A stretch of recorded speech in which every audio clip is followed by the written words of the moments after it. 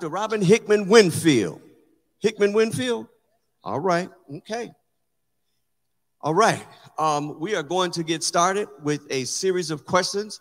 Uh, if any of our moderators uh, come in, I mean, if our panel come in late, you know, we um, just come on up and have a seat. Is that all right? All right, so let's get started. Um, the panelists whom I've introduced, their bios are in the program that you've read. So you'll see that each and every one of them are qualified to be here. Okay? So let's start making trouble. Huh? Yeah, we're going to start shooting the questions.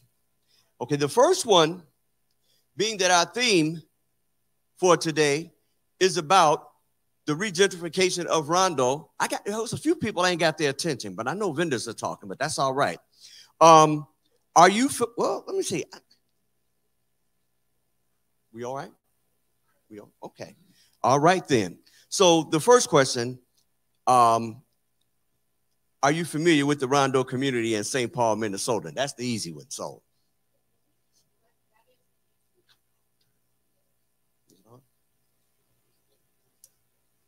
Is it on? Did you turn it on? Is it on? Take, take it. Yours working? He did. He did turn it on, but um, absolutely, I'm gonna I'm gonna establish it even deeper. Being a fifth generation Minnesotan, um, being a descendant of Rondo through my grandmother and my father, um, so definitely. Um, but I would say um, I like to share a, a, a Mexican proverb that says, "They thought they buried us, but didn't know we were seeds." That's speaking to the destruction, the, the attempted destruction of Rondo.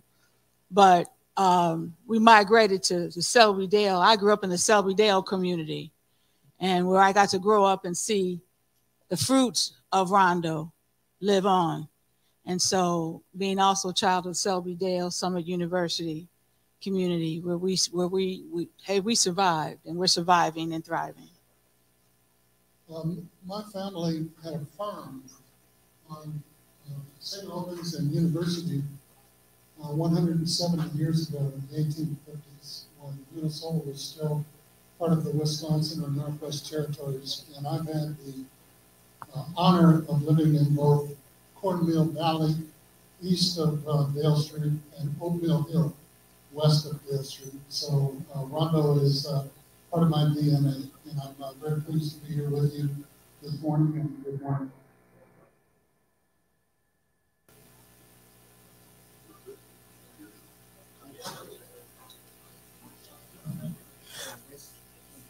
All right. Everybody all right? Were you able to hear the responses to those questions?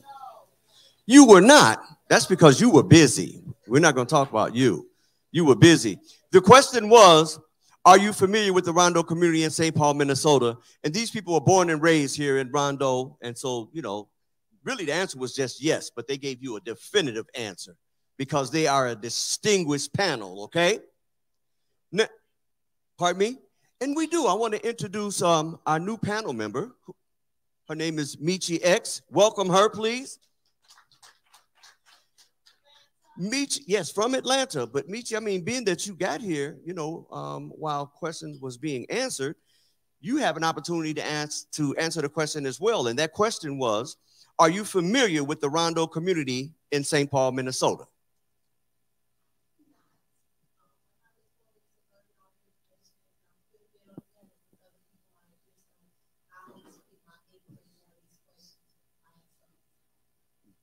Well, Mechee, it's all right because there's some people that live right here in Rondo that's not familiar, okay?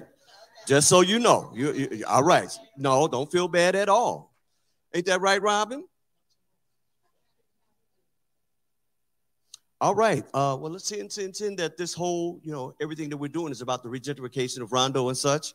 Um, the next question is, in your opinion, why do you think the United States government enacted the National Interstate and Defense Highways Act of 1956 and put these freeway systems in black communities across the United States, which destroyed Rondo Avenue, which had at least 300 plus black owned businesses and homes at the time?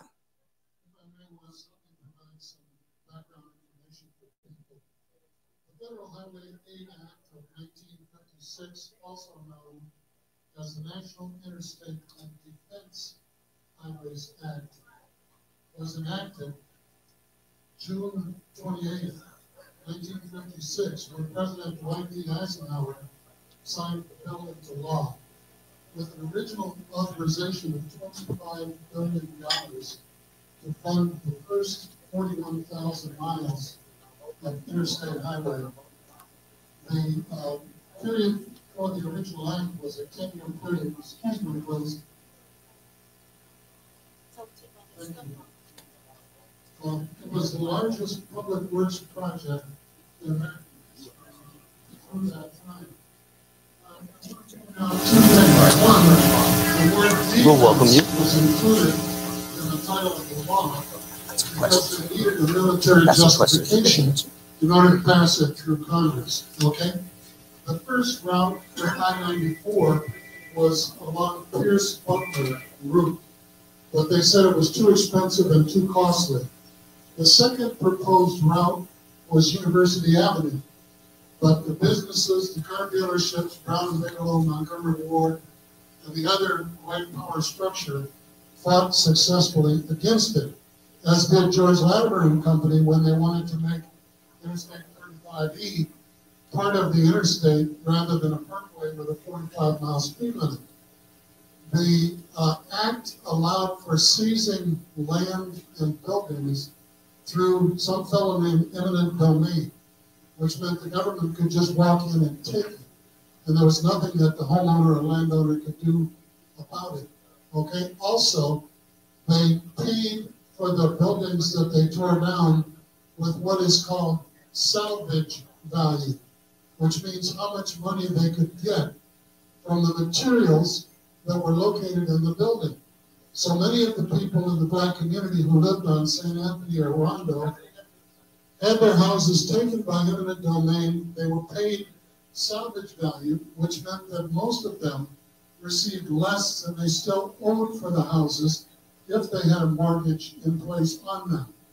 And Rondo, the block between Rondo and St. Anthony was chosen because it provided the least economic, political, and social resistance right through the heart of the black community and low-income white communities and this was the case in Detroit, in Chicago, in Atlanta, in Pittsburgh, Philadelphia, Newark, Camden, across the country.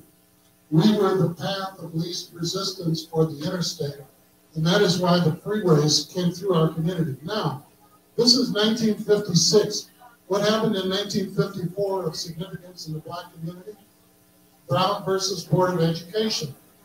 That signaled the rebirth of the Ku Klux Klan, the Citizens Councils, the John Birch Society, the Libertarian Party, okay? And white people, excuse me, we're, we're having a workshop here. Wait, hang on one second, uh, and excuse me. Excuse me. This is the discussion part of the program, the discussion. And there are some people who cannot hear the responses to the questions. I just ask that you refrain and maybe turn your voices down just a bit so that others can hear the discussion. Thank you very much. Please continue. Um, in 1950, there was another act passed which was sponsored by a Democrat from Nevada whose name was McCarran. It was called the McCarran Act. How many people are familiar with the McCarran Act? Anybody in here ever hear of that? Anybody in here familiar with the McCarran Act? The nickname for the McCarran Act was the Concentration and law. And again, um, defense and military funded. And part of the rationale was that the freeway would be recessed in urban communities so that if we had a repeat of the, um, the organizing and the chaos that occurred after Brown v. Board after the murder of Emmett Till, after Rosa Parks refusing to give up her seat on a bus in Montgomery, Alabama, sitting there thinking about what had happened to Emmett Till three weeks earlier. That the freeways could be used as concentration camps in urban communities. And the military only had to say in order uh, insurrection and control. So the McCarran Act, the Highway Defense Act, the fact that there were limited funds for eminent domain and for salvage value, so they picked again the communities with the least economic, political, and social resistance. And that is why Interstate 94 is right through the heart of St. Paul and Toronto community and North Thank you, Mr. Mgeni. Dr. Winfield, would you like to respond to that as well? Or he said it all? Did he say it all? Huh? Panel, you agree? Okay. Um, sure.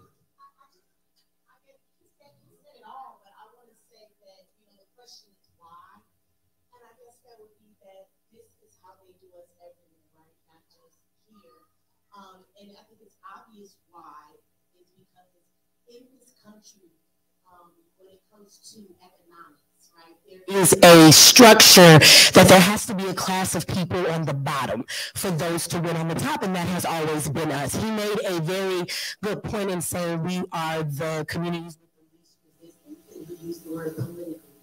And I, I think that if we look and we really focus on the fact that it all comes back, everything's politics, but we are the ones who are constantly um, giving votes, right, without getting anything back in return. And we are the ones that are constantly used to be stepped on, right? And we don't have that resistance, um, whether it is politically um, or whether it is us coming together to show that resistance. But this happens everywhere. And so I just want to point that out because a lot of people will say, you know, why don't we get up and just kind of get stuff together in our communities? But I think we have to understand there is a very, um, very specific effort from the government, right? How do you fight that? From the government to make sure that we do not excel and we do not get to where we need to be. It's not all about our communities are just broken down. We keep them that way. We don't do what we're supposed to do. It is much more complex than that. So that is all that I wanted to add to what he said. And also to that, sister, um, I'm a TV and film producer, have loved being a media maker and keeper of our narrative since I was a, as a child. One of the things I saw in our bios, loved seeing about Yusef, who was one of my mentors, urban journalism workshop, which I was a student in that, you know, that intentional, making sure even as young people, we were on the case of taking our rightful place as young media makers. But while I had a career in public broadcasting, there was a, a, a, filmmaker that did a whole documentary on around the country that movement that freeways taking out. It was a powerful documentary. So i knew i learned then it did not just happen here. It went on all over the country the, that the black communities and it the part about taking out our economic heartbeats throughout the country. And as we celebrate dr king and I think about the theme of this occasion, walking in this morning, even being patted down by security. I said, they mean business.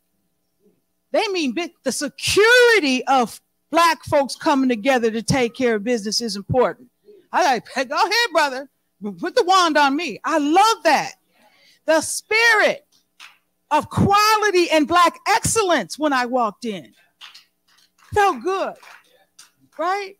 That felt good. But the business and our economic empowerment, right, was right. Because I think about my favorite scripture, one of my favorite scriptures for such a time as this. And the spirit of the time is now.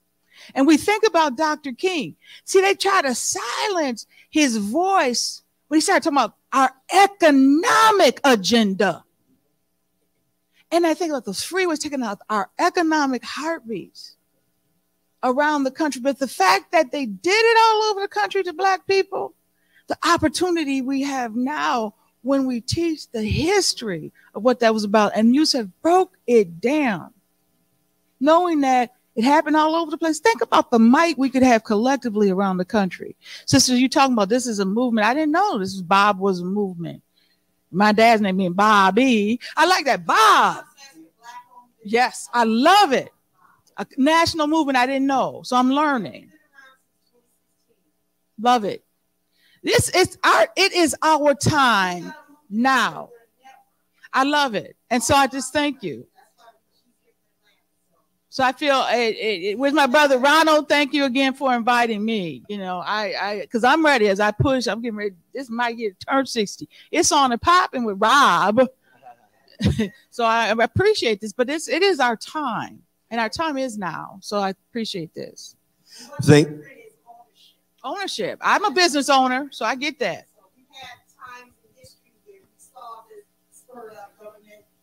So right? But we didn't have that ownership piece. So that's the key. So we, you know, America is built on capitalism. Okay? Land. Mhm. All right? Day one. So that's why we have to have ownership of our businesses, land, everything. And that hopefully, I hope everybody plays, you know, this is an important, like I said, an event. This is meant to be something that at 993 cities were affected by the 1956 uh, Highway Act in 1956 and 1966 Mm-hmm. across the country. That's 993. we do have a seat on the panel for you, ma'am, if you'd like to join Yeah, us. you might as well come up here, sister. know. Sit down up here. We definitely got a seat for you. Do we have a mic for it too? Yes, we do. Come on, right here next to me. Mm-hmm. You get next to Dr. Winfield. So as I said, there's 900 and at least 93 cities that were affected by the 1956 the 1966 Highway Act. Okay. And that is the number one basis for reparations for us as people. One of them, besides the debt that's owed from slavery itself, picking cotton and tobacco, whatever, right? But the the, the fact that these you know, they displaced us. We have a homeless problem that's almost 50% across the country. Okay. And I'm saying that, and it's really sad when you start seeing it where you live, because when you traveled and you lived in places like Dallas, Houston, Vegas, California, Los Angeles, we've always known New York had a homeless problem, right?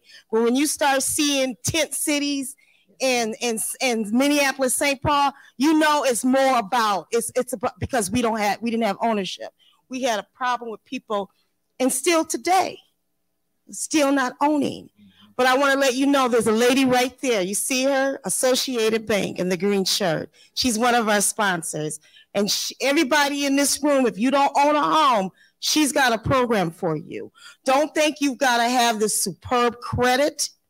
Don't think you got this money right now because our movement is bringing in dollars for home ownership. That's why you, you know, this and this across the country. Our movement is very strong, even though the media is trying to downplay us right now because it's a very strong movement. You know, Mechee, you know what that's about. So don't get me started, y'all. You know, you know, you know, I was gonna come fan you in a minute. I was, I you know, I was about to step over there. Um, thank Before we you. Oh, I'm sorry. to this, I wanted to ask them if that's okay. I, I wanted to take it a little deeper because you know we we're talking about coming through and destroying things and taking us in a position where they just displace us and and and again I say they have to have a class to step on. So a lot of times people are confused when I say that because they're like how do the poor class keep everybody rich? So it is imperative to them that we stay in a situation of destitute and being poor. And the reason is is because the government is very corrupt and everything they will lock you up in jail for they do legally. So they need you to be poor because poor people have sickness. Poor people need Medicaid. Poor people live in communities that crime is committed. So therefore more people go to prison. Everything that they need you to do is a way of laundering the tax dollars from the citizens to fund it to the real drug dealers. See, we need poor people to be on Medicaid and we need them to live in poor conditions and have food deserts and not eat right because then we can send you to the doctor and give off fund all that money to those doctors, to the pharmaceutical companies, but we'll lock you up for selling drugs, right? But they can sell drugs and, and things like that to you. Also, crime does pay. They told you crime don't pay, they're lying. They want you to commit crime, and crime is a product of poverty, mental illness, and that comes from all that stuff. And we'll get in that later. I won't go too deep in that. But I just want us to have an understanding why they want us to be poor because our poorness actually makes entities within the government that fund the politicians and it makes them filthy rich. So please understand, even though we may be the lowest class of people in this country, we are the ones that make everybody wealthy. Okay. Well, also too, besides Miss Gibson, we have two other distinguished gentlemen that have joined the panel. I'll allow them to introduce themselves now.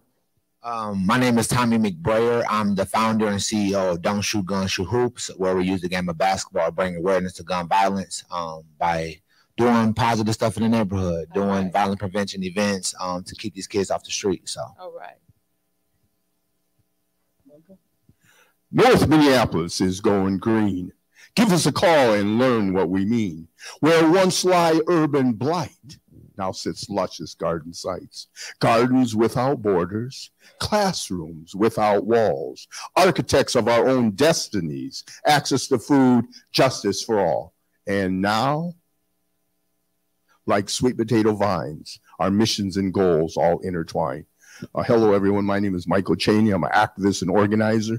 In the 80s, I was the founder of the Juneteenth celebration in the state of Minnesota. The 90s, I was the founder of the Wendell Phillips Credit Union. And in 2010, when North High came under attack, and there were those within the educational system who felt that North High, its time had come and gone, um, I and others came out in response because we felt that the killing of a school is the killing of any heart of any community. And so, in all good consciousness, we couldn't sit back passively and watch it happen. And so I approached the school and asked them if I could get the youth of North Minneapolis to start growing uh, vegetables, could I utilize the green room that had been fallow there for over 10 years? They agreed, and thus Project Sweetie Pie was born.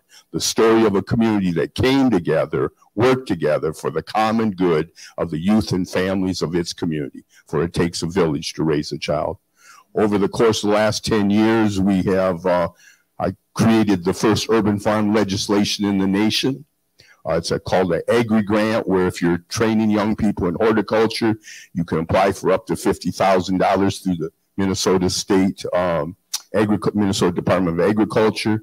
And I'm currently working with uh, Kimball Musk, who is Elon Musk's brother. And for working with them, um, we have a $6 million fund that we're deploying to BIPOC organizations across the country. And Project Sweetie Pie is on the governance board. So we're growing good in the neighborhood. Good food, good schools, good youth and families. Education never tasted so good. All right. Um, yeah. Uh, this next question, Dr. Winfield, um, I, I, and I know you've lived this, so I need to uh, start off with you. Are you familiar with how blacks migrated to Minnesota and where they first arrived? Oh my goodness. Yeah, I, I am I have my own personal story, yes. And I know they migrated from many places. My my personal story is that our people came from Kentucky. There were about 90 some odd families came on their way, some on the way to Canada, stopped up in the Aiken County area. Fergus Falls. Some landed in North, South Dakota, North Dakota. Um, but um, Fergus Falls, many families in Fergus Falls landed there. Um, beautiful story, beautiful, beautiful story. Um, so you have the Andersons and the Frasers and the Tates, Pattersons. We got to talk about maybe we could we might be cousins, girl. You're also the niece of Gordon Parks. well, that's that's part of that. But see, you know what? And I saw that in there. And I love Uncle Gordon. I do a lot to make sure I love him. I am. I'm his grandniece, okay, and I make sure that I keep his legacy alive. That promise that I I made to my uncle. Um, but I'm also proud again to be fifth generation Minnesotan. I'm proud to be a descendant of the Frasers and those families that landed in Fergus Falls. My great great grandparents are buried on the north shore of Lake Lacs. See, when folks come to me acting like I'm not supposed to be here, I can look other uh-huh. folk. Like my people probably been here longer than yours. So when we talk about engaging in movements to reclaim that which was stolen from us, when we can have a posture like that's grounded in knowing we got some deep history here, right? It strengthens us. And so those were those families that, that, that came when I can go up to Aiken County to the Historical Society and see from my great grand niece and nephew's names in that register all the way up to my great great grandparent. That's power, right? But also my my family, my grandmother Lillian Parks Thomas and Uncle Gordon Parks and all. So there's a lot of history, and again, it's teaching our children that history. And it's the young lady saying lift every voice and sing beautifully, and we joined in. There's some simple things. Sankofa, go back and reclaim that which was lost and not add stolen. But some simple things. We've lived some of the answers we seek today. I would like to bring the Black National Anthem back to our children and make sure that they learn every word. When we were children, we couldn't even look at the paper. We had to plant that in our hearts deep. We need to bring that back to our babies because their every word is what they need to armor them up so we can do this battle we got in front of us. I'm very much involved in the reclaiming of Rondo. Very much involved, but part of it is knowing that history, knowing where you came from. And for those of us who have those deep roots here, and we can go back and look at our lineage, that's going to fortify us. That's going to armor us up, right? So yes, deep roots. Uncle Gordon, love him, but my my mother's side, really, really deep. Proud. When we all go up and we used to take pilgrimages up to Fergus Falls, it was some deep stuff, and they migrated down to North Minneapolis. Right, Mama, down in North Minneapolis and South Minneapolis. And you back in the day when the St. Paul guys used to go get the girls from Minneapolis, back vice versa, all that little stuff. Um, landed over here in St. Paul, but proud, deep history, and stories that need to be need to be told. Andre Cymone's daddy, born in Fergus Falls. Jimmy Jam's mother, my grandmother, good friend, born in Fergus Falls. A lot of stories, a lot of rich stories. Let me show my little uh, two cent real quick. Uh, um, being a um, African American, 33 years old, I'm not from St. Paul, but I'm from Central Neighborhood uh, yes. South Minneapolis. Oh, you about my age? Yeah, yeah, yeah, yeah. You, we look the same age. but um, I don't know when exactly when we first came to Minnesota, but I know Rondo community and Central community had the same relationship, right? It was these are black hubs in both cities, right? Um, growing up in Central neighborhood was all black businesses. You know, this was the first Central neighborhood was the first neighborhood in in Minneapolis to um, for black uh, for black businesses to be ran uh, for uh, black ownership for housing um, and the same thing for uh, Rondo community. So I think it's important to learn the Rondo community and the Central community because they're so they're so similar. Um, even though we got the uh, the black hub of Sabathani, um, we hold um, the neighborhood for uh, for Prince. Prince uh, grew up in Central neighborhood. Prince uh, um, was married in Central neighborhood, and I, uh, like my man said, um, whenever you take take a school outside the community, which was Bryant High School. Yeah. Bryant High School was uh, a school that Prince went to high school that's now Sabathani. And if you learn the history of it, that when Bryant High School closed, it was the worst thing that happened to the neighborhood, right? Now all of a sudden we're living in this era of kids are not going to school in their own neighborhood no more, right? right? You're going to these suburb schools, or you're going something that's 20 blocks away, type of thing, right? Not you're not going to a hub that represent your your your culture now right? Um, so I just wanted to share that, just like, yeah, it is important to know your history. And now we got the Minnesota Spokesman Recorder. That's a historical landmark in Minneapolis, probably one of the uh, oldest uh, historical landmarks in Min- Minneapolis. Um, that's still up and running right now. Black, um, black uh, newspaper um, company uh, in Sabathani. You know, Sabathani is the uh, one of the oldest nonprofit organizations that's uh, still black owned, uh, still to this day on 38th and uh, Second Avenue over South Minneapolis. So we got to hold on to the black. You know, um, I'm, I'm pro-black when it comes to things. You know, I, am for my people. I represent my people. I make a room for my people. Being a community organizer in that same neighborhood as community uh, of Central neighborhood, that's that's our job. You know, me being 33 years old, and they're like, "Well, what's your job?" My job is to create more space for Black people. You know, for Black businesses, for my for my Black people. And at the same time, me, I on a personal note, I'm a survivor of gun violence, right? So don't shoot guns, shoot hoops is my way of using my platform and my tra- uh, traumatic situation, my trauma to save other youth. You know, um, it's crazy right now. Young adults are from 18 years old to 40 years old, right? But now 40 years old is almost impossible to get to in the African American uh, uh, community. These these guys ain't make it to 40 years old no more, right? And so now 40 years old is old in, in the black community, right? When it should be a young adult. You should still be a young adult at 40 years old compared to somebody that's 90, right? So I think it's important to learn where you come from, learn your roots, um, and and enhance it, right? And protect it because we they say anything that's American, anything, any, every time you put American after any name, you're washed up. So we, we are washed up African Americans, and it's, it's, time we go back to our culture of being Africans, right? And protecting our people. Yeah, because I tell people, I tell people all the time from my era, so I'm in a different era, right? We got gang members, we got gang bangers, things like that. And I tell people all the time, are you a gang member first or are you black? Are you a gang member first or are you black? Because if you're black, then you should be taking care of your people. You should be ma- making sure your people uh, and protecting your people and things like that. That's why gangs was invented, right? To protect us from the police, right? In the in the system, right? So I feel like we gotta we gotta stick to our roots and things like you that. You talk about something very important because the gentr- part of the gentrification process is criminology. Okay, so we see it all the time is that the media says that the neighborhood's bad, the property values stay low, people don't want to live there no more, right? Because you're scared to go in your own door because they told you somebody gonna shoot you, right? Right. I mean, we can still see that happening over in North Minneapolis right now because they're trying to do the gentrification thing over there. So, but really, I've been over in North Minneapolis, my family for 35 years. Okay.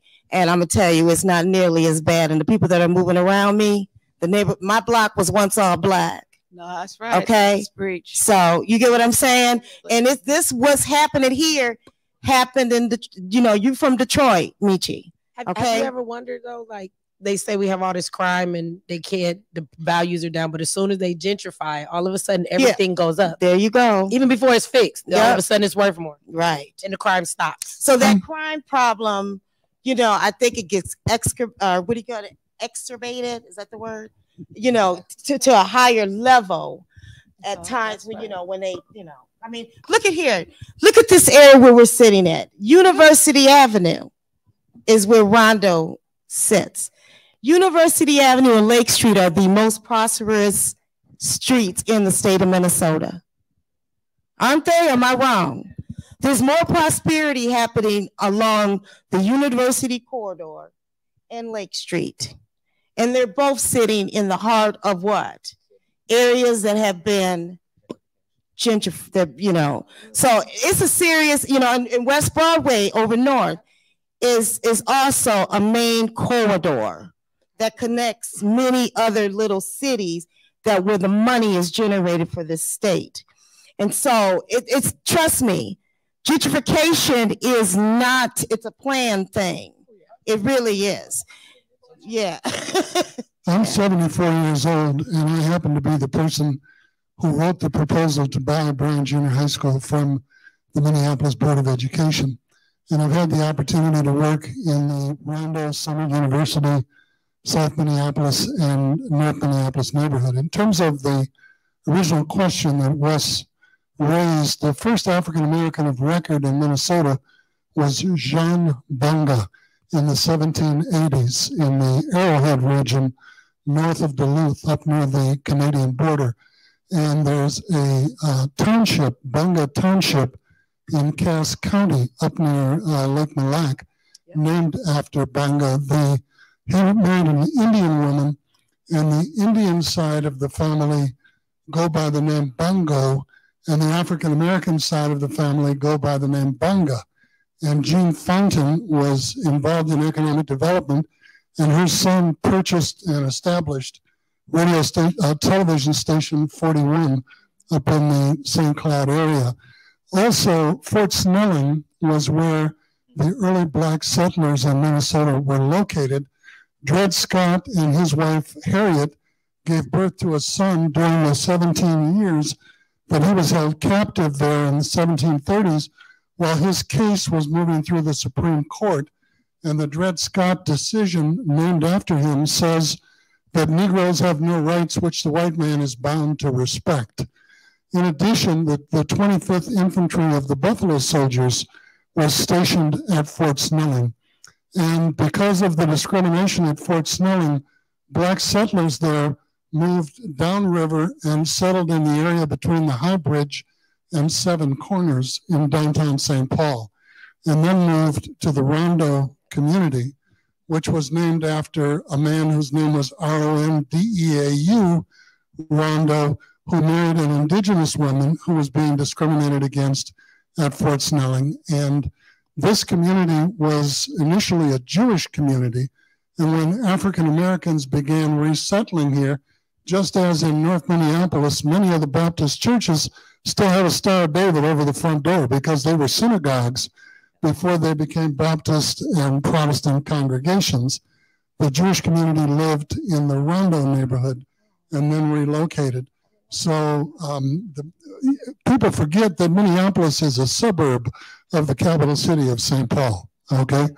And that it was in St. Paul where African Americans first settled because this was the hub for the Great Northern, the Northern Pacific, the Canadian Pacific Railroad. And a lot of black men got here by working on the railroad. We could remember those black men walking home in their railroad uniforms, and they would say, I walked all the way from Seattle to St. Paul, and my feet are killing me because they weren't allowed to sleep on the trains. They had to work around the clock. And then those black men married black women, and a lot of black families settled in the Summit University Rondo neighborhood on the Lower East Side in the West 7th community in South Minneapolis and in North Minneapolis and call those communities home for multiple generations. So people came here for the same reason that people who had trouble with their W's and their W's came here. They wanted good schools for their children. They wanted safety. They wanted jobs. There were a higher percentage of black people in this community in the 1950s who owned their own homes, who were literate, and who made a higher percentage of the salaries of white people who had the same jobs in the black community than anywhere else in the United States. And we need to ask ourselves how we have gone from the community that had the highest quality of life for black people in America to the 50th of the top 50 cities in the country being at the bottom in terms of education, in terms of economics, in terms of home ownership, and in terms of all of those qualities of life that are the reason why people come to a community and want to plant roots there and raise future generations. Well, there was a part two to that question, but your passion has already spoken to that. Thank you for those answers. Uh, Mr. Chaney, why did most blacks live in St. Paul versus uh, Minneapolis in the early 1900s? I'm an activist, not an organ, uh, historian, so you'll have to pose that question to people who are better versed and well read on that topic. I can answer. just wanted to start with you. It's going all the way around. You just wanted to wake me up, huh? Yeah. You just wanted to wake me up. One thing about um, a lot of people don't know is there's a whole history of Rondo. The name Rondo comes, it's actually French. You guys could probably speak to that. Uh, what was his first name? Yusef. The, the guy, he was he the, the Jibaway woman that he From, uh, from Fort Snelling. I- I- Fort Snelling, yeah. I know how to His, it was the last name. uh, was, uh, go ahead, what was it? DEAU. D-E-A-U. D A E. Okay, Yes. right. So he was actually a white man. He was French, right? And then the the so he he he fell in love with an Ojibwe woman. The lands that we're on right now was um it was what would you can call the land back then? It would be more like uh Northwest or the Wisconsin territories. yeah. And so basically because at that time it was the Native Americans, right? But remember the Native Americans look like me and you today back then. Okay, that's one thing that they don't look like mostly the the Native Americans that we call Native Americans today, because my people are Native. My people are Native from Oklahoma, the Oklahoma Trail of Tears. Okay, my history. So, all right, make a long story short, he couldn't live in Minneapolis. Minneapolis was full of covenants. Minneapolis was up there, like you know, you're not going to live in this neighborhood. So they had covenants by law saying black people couldn't live in certain places. That's why.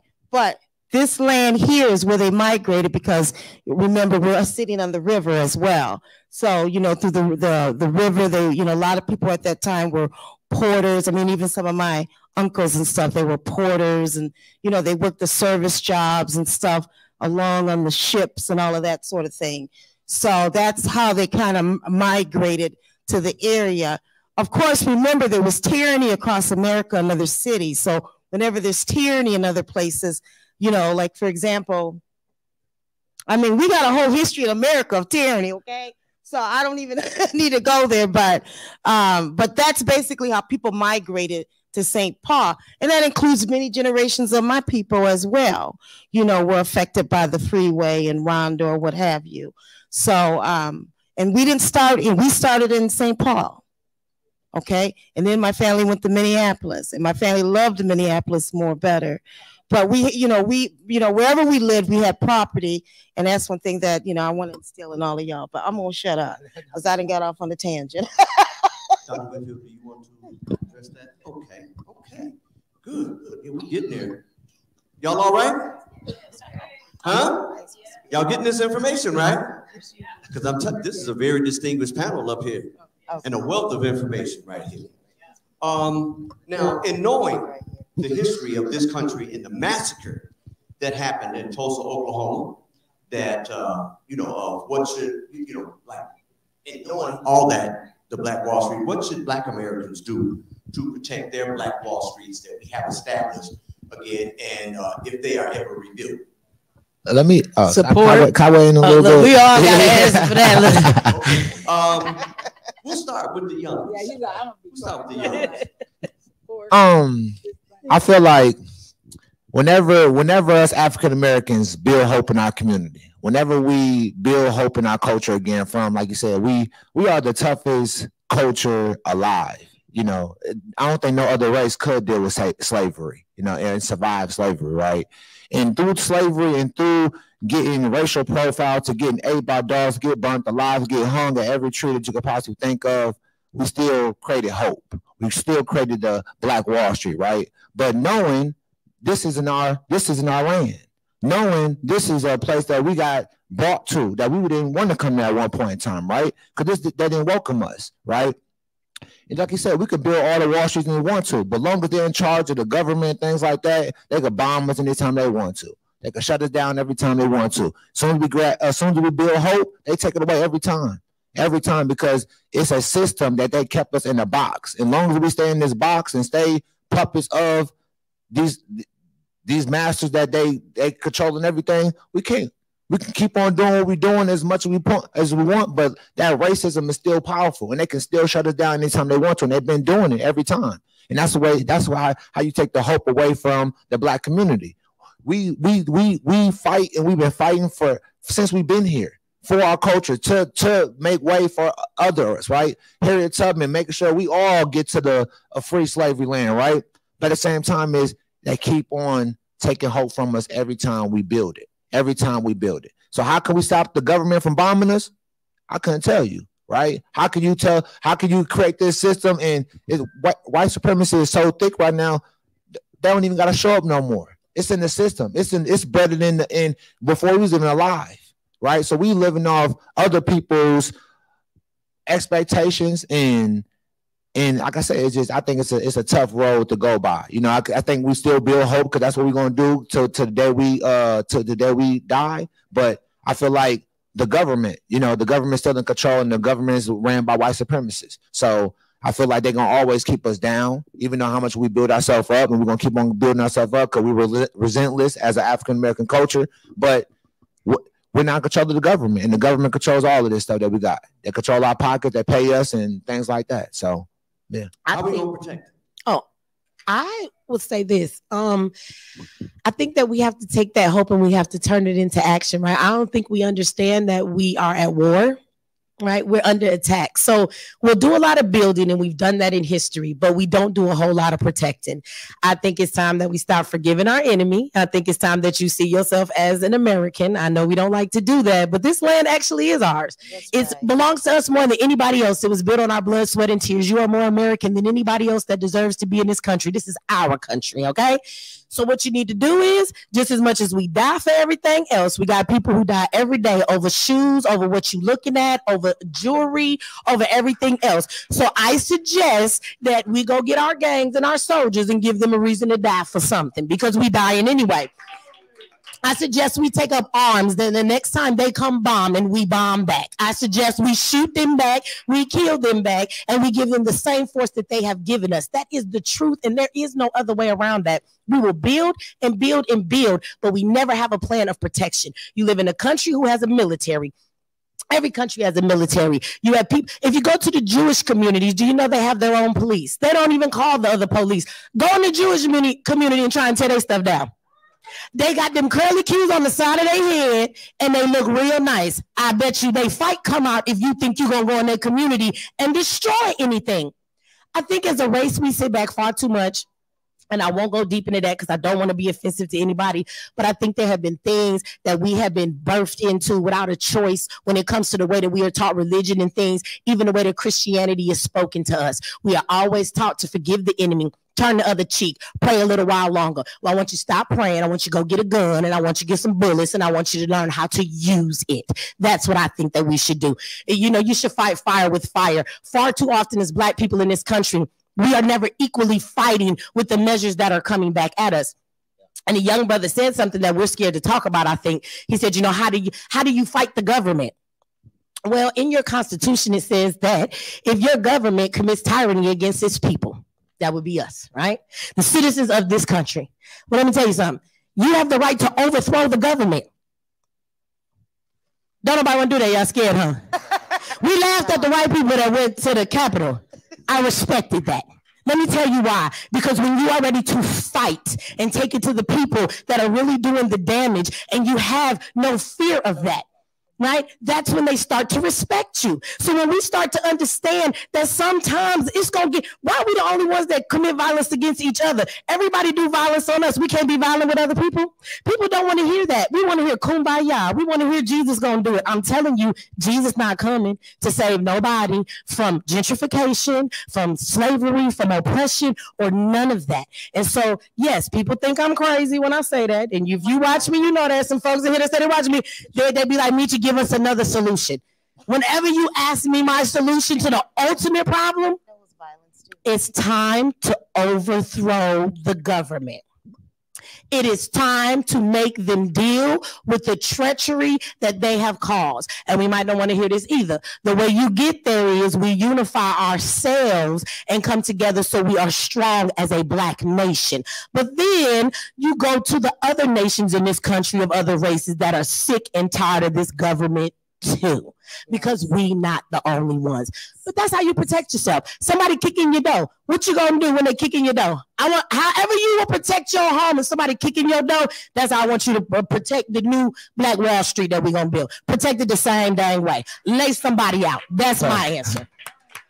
Let me let me pick you back because what, what I was saying. Hold on. Hold on. Hold on, sir. Oh, thank you.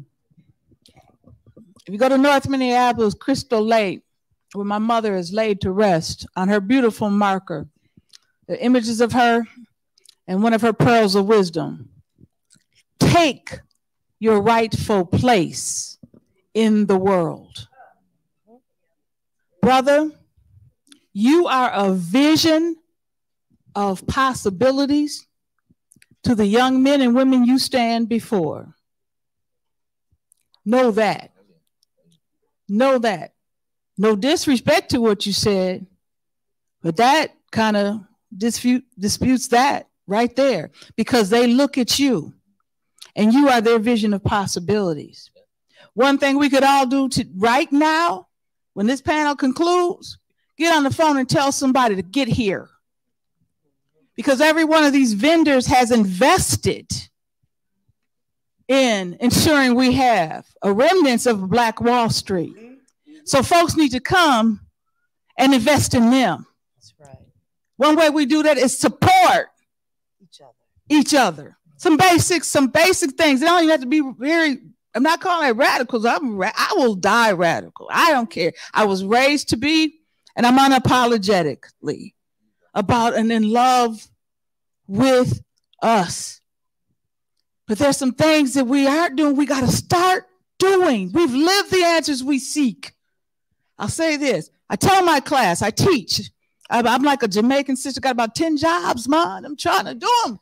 One of them things, one of the things I do is I get up every morning, I go to Gordon Parks High School down the street, and I stand before our young people and our babies in keeping my promise to my uncle, who my last visit with him in before he died, my uncle Gordon Parks. He said, Baby, what's gonna happen to black boys? As revered as he was.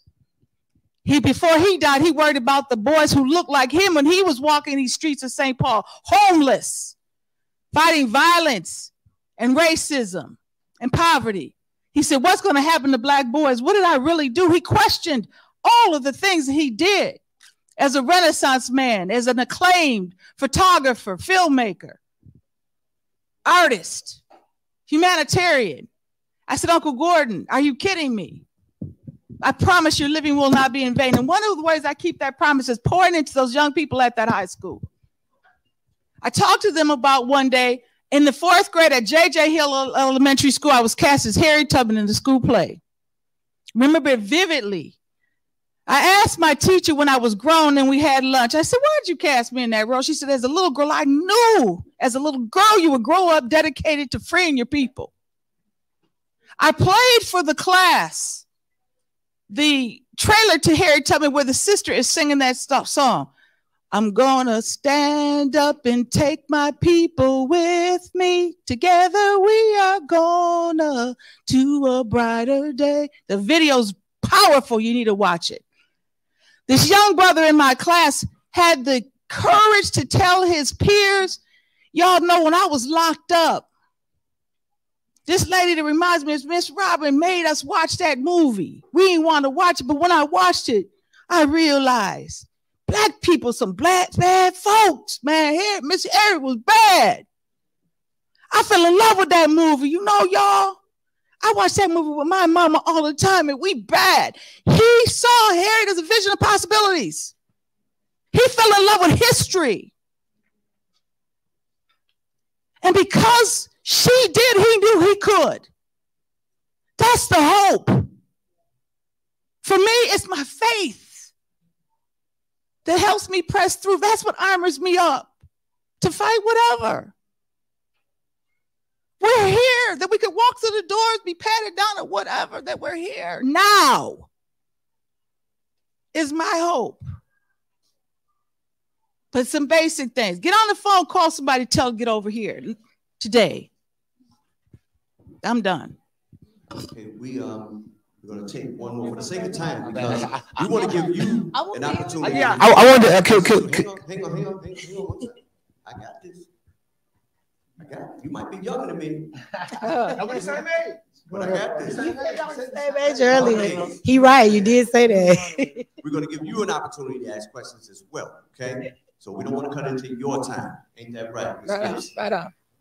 That's right. Okay. Now, But we we do got two want to do answers. Q and A too. So here Yeah. short. Yep, Yeah. two more answers. Yeah, c- c- I just want to yeah wait in one minute. So when I say like like okay like this this era that we live in right now is been stripped of hope, right? Like in, in words of Martin Luther King, right? Martin Luther King was an aggressive person, right? He went into the law books. He went to the governor. He went to the mayor. He went to inside the the the, the government, right, and work with the government, things like that, right? So I'm never going to send my people off by saying, "Yeah, go run in front of a gun," right, and get shot, right, and things like that. Because there's op- there's different ways to do it, right? We don't never want to match our precious uh energy, right? Yes, we You- do. You know, but Yes, we there- do. there- there's different ways, right? There's Oh, different ways no. Be- because no matter what, I don't want to install no negativity in my heart of no matter what. I'm here for a purpose, and like I said, I'm here. I'm here to. Why we fail? What? You, why you trying to be loving when they hating on No, you? no, no. Look, yeah, y'all no, scared to meet hate 'cause- hate. No, it's not about hate because. And you said run in front of a gun. I didn't say that. I said go get you a gun, become skilled with your gun, Yeah, and, and, and take them out a mile away. You could be behind a bush. You ain't got to run in front of the gun. I get. Okay, look, but look, check this out. But are Now- you saying be the aggressor? Or are you saying what I'm what I'm saying is if I stand right here and a sister come out the crowd and say I don't like you and she get the whooping on me, I'm not standing in faith and hope. I'm gonna whoop her back. This is what I'm saying. I'm not saying. I'm not saying be. I'm not saying just just get your butt. Well, I ain't never saying don't protect yourself. I ain't saying that at all. I'm just saying like me as being a leader in, Mhm. in my community and being a community organizer, I'm gonna give you the right insight than just send you off and say like, cause you going to and, and you taking advice, right? Say they take your advice and they go out there, now they're dead, right? And like, Well, let's and- just bring this into context. here. Yeah. So we're one thing, one person that's missing here, which I'm very sad, is Dr. Rose uh, She's one of our guests that was supposed to sit on this panel. Mhm. She was actually raised in the Tulsa Yes. Greenwood neighborhood. Okay. Mhm. She was also my professor at the U of M, one of my advisors. Okay. Now, one thing that happened, if you look at what happened at the massacre in Greenwood, they didn't protect Mhm. their community. And I think that's what Mechee's saying here. We're Yes. not just talking out of, Yes. No, no. don't just run out. But but but but in that community, let me say, when that happened, had the community understood the type of danger we are always in, what you would do is you would take a group of the community that is willing to prepare and to be our defense. And uh, so, of course, you don't just send them out there. That's not what I'm saying. But I do think that we have to make a plan to fight fire with fire. And and just in recent years, I've even heard even over North Minneapolis, just recently, some buildings up, you know, things are burned down even with George Floyd. So, you know, there was some of our Intentional. businesses were burned. I, I sound engineer. Oh, oh, was it? Okay, can you hear me now? All right, sound it. Okay. So even with George Floyd, we saw even some properties burned. Okay. That and some of that stuff you got to kind of question But I you don't know think what, that was the, what the back. motive is when we see that kind of destruction. So I agree with you wholeheartedly that the only way that we can is to protect what we have because look how much we lost. So if we just take Rondo in context, or even take Greenwood, you know, in, in context, we lost a lot. We lose generations of wealth. I mean, 50, Why do we Wait, care whoa, whoa, about whoa, whoa, community? whoa, whoa, whoa. So how you know? I this. mean, we got to wrap up because we got to give them an opportunity Okay, to ask their Yeah. questions. okay. Uh, but first of all, how about a round of applause for our distinguished panel? Okay, thank you. Yay. Conversation is getting good. Dang it, I got time. Now, with the show of hands, I'm going to walk over to you with this microphone, with that lady in the green being the first one. I'm going to have to run a little bit. No, didn't wear my sneakers. Panel, you ready? oh yeah. Um, my name is Cookie Thomas, and I'm part of Priests and the Righteous Ones. so we're going to entertain you today. Do you have a question? Um, thank you for this excellent panel. Oh, I think you guys are great. Thank Yeah, You're hitting points that we really need to know out here. Um, I grew up in South Minneapolis, uh, been here since my mother brought us here from Denver, Colorado. Um, been here since I was eight years old. And Minneapolis has really changed because when we came here, they had, um, on Lake Street, they had all kind of sex stores. And it, it- and it was just really, they had that Deep Throat movie. When I was a child, I seen that on Lake Street. And they just, Lake Street was just totally twenty-five dollars sex movies. I mean, twenty-five cents, excuse me, twenty-five cents sex movies, everything when I was a kid, we came here. So it's really changed. And when, when, you know, when we came here, there was black-owned businesses on 38th Street, Mr. Rubin Store, um, the black beauty salons, the black music store, all that was black-owned. And now it's, it's, it's not anymore. It, it doesn't exist anymore for us. And so what I wanted to ask is, how can we come back as a community to save what we already own? How can we come back to that? Thank you. Who wants to take the answer to that? Well, we are going to have that discussion in the fourth panel. So if you stick around, hopefully, you know, we- we'll, we'll have all those key players that are kind of playing a role into this whole economic development, like Reconnect Rondo um, in this community and so on. But it's going to take us, of course, okay, like you were talking earlier, It is about behavior too that we have. So we have to own, as I keep saying, okay? Because we cannot be gentrified unless we own. Because, and then transfer a property. We all gonna die, okay? So transferring your property back to your community or family people. I'm gonna tell you a story here. I just came back six and a half years ago. I lived in the DFW area for 12 years. Okay. I invested in a piece of property. I had no idea about this, you guys. I was in Dallas, so I wanted to invest in some cheaper property because Fort Worth is like Minneapolis and St. Paul. Minneapolis is way more expensive than St. Paul, or well, it has been, Trent, you know, mm-hmm. through the years. So I bought two pieces of property that were historic that sit off of Rosedale. If anybody knows Fort Worth, um, 35W runs through Fort Worth, okay? And guess whose property it was? She was the first black principal of Fort Worth. Her name was